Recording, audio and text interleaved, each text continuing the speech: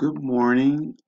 As I uh, have mentioned to those who have already submitted their PowerPoints, our next assignment will be to participate in, participate in a discussion board using our uh, PowerPoints and going, doing a voiceover of the PowerPoint that you did. You don't, don't have to create another one. So I want you to use uh, Screencast-O-Matic, which is a download, free download, and you this is an app that you can use uh, forever. You can send, uh, create uh, videos that you could send to friends, relatives. Again, it's, it's like sending a greeting card, except it's it's more personal. So I hope that you find this app use, uh, useful. I want to create this short video uh, PowerPoint and voiceover PowerPoint actually using Screencast-O-Matic. So uh, your first thing you want to do after you download it, you will turn on the app. It's like you would turn on any other application on your computer. And you'll get this screen right here where it says uh, this is your presentation, your first slide.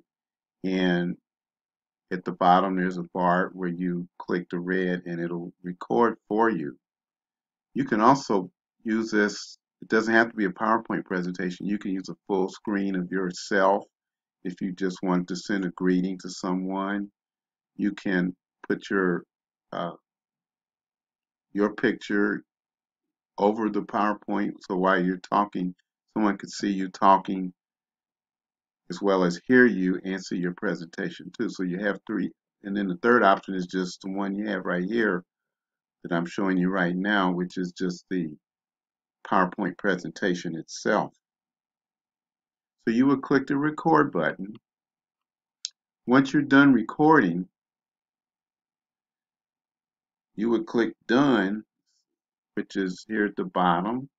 Once you're done recording, then you'll get this option, or these three options. A video file, save as a video file, upload to Screencast-O-Matic, or upload to YouTube. You want to pick save as a video file. That's what you will do. Then you'll see this next option, which is to publish. You want to publish your recording. Once it's done publishing, you will get this option here, recording uh, publish to video file. So you want to browse folder and it will save. I believe the default is desktop. It'll be on your desktop.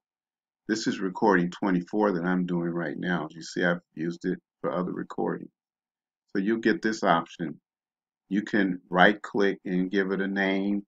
My favorite dog or uh, my favorite sport, baseball. These are some of the topics I've seen so far. So you would just right click and rename it if you choose to do so. So this would be on your desktop, or you could save it anywhere you want, but desktop I believe is the default. Once you have saved it, you want to upload it onto the discussion board this is what it looks like. It'll say share your PowerPoint presentation. There's a link to download the app right there in the instructions. And you will upload it uh, just like if you were making a discussion board post.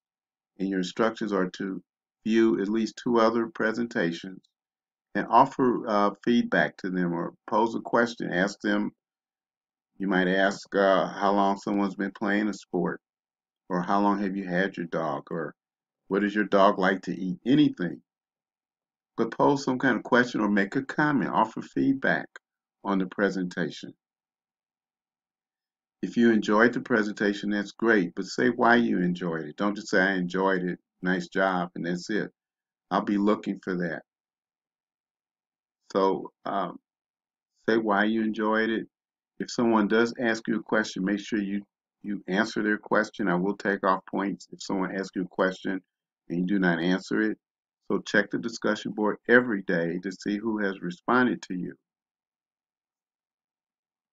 And as always, do not hesitate to contact me if you have any questions or concerns or issues. Thank you very much and stay safe, stay healthy.